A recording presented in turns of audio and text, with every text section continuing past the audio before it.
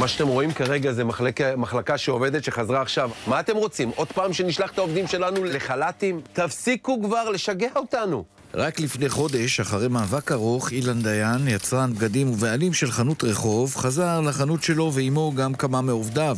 אלא שעכשיו שוב עולים החששות כי קבינט הקורונה יחליט על סגירת המסחר. אתם כבר כמעט שנה כבר בתוך הדבר הזה שנקרא קורונה, אתם לא יודעים איך להתעסק? אם כשלתם, אז לכו הביתה, תרימו, תגידו, כשלנו, לא יודעים להתמודד, נגמר הסיפור. ברחוב הזה בתל אביב מייצרים בגדים שמשווקים לחנויות ברחבי הארץ. היום זה יום שוק, שבו באים בעלי חנויות לקנות סחורה, אבל המלצת משרד הבריאות לסגירה כבר נותנת את אותותיה. אני מוכרת לחנויות, למי אני אמכור? ולא רק זה, גם אם מכרתי, כל הסחורה חוזרת כי סגרו אותם. כאילו, מה, רוצים להרוג אותנו, לגמור עלינו? זהו, פיניש? פתחתם לנו, נתתם לנו חמצן, הגיע הזמן לתרופה, ואת התרופה אתם לא נותנים. אתם נות... רוצים להרוג אותנו בכוח, לבדות איתנו הריגה. היידה, שוק פתוח! שוק מחנה יהודה בירושלים לא היה עמוס הבוקר בקונים, בעלי החנויות מתקשים לראות את הלקוחות הקבועים חוזרים עליהם בקרוב, כשסגר נוסף הוא אופציה.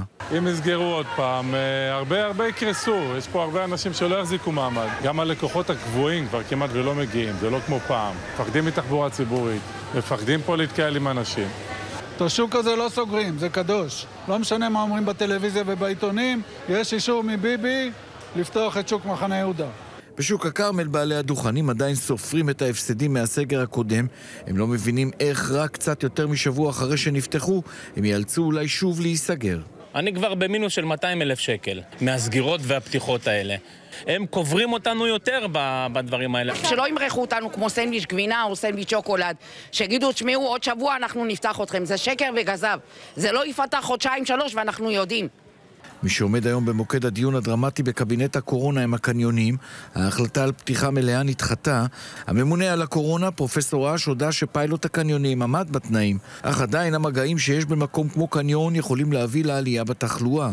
אנחנו בקניון דואגים שלא תהיה התקהלויות. אנחנו דואגים למרחק של שני מטר בין לקוח ללקוח. אז אני אומר לך, פרופסור אש, תפתח רק את הקניונים הסגורים, כי שם אין התקהלויות, ותסגור את שאר המדינה. רשת איקאה פתחה גם הבוקר את סניפיה במתכונת מצומצמת, בניגוד להמלצת משרד הבריאות. היום לא ניתנו דוחות, וברשת אומרים כי החנות פועלת על פי החוק. בעלי העסקים הקטנים בחנויות הרחוב ובשווקים לא רוצים להגיע שוב לתמונות הללו של הפגנות ושל קבלת דוחות, אבל ייתכן שלא יהיה מנוס מכך. במידה והקבינט יחליט, אני אומר לך שיהיה פה כאוס, אנחנו נהפוך פה את המדינה על ה... מהאדמה.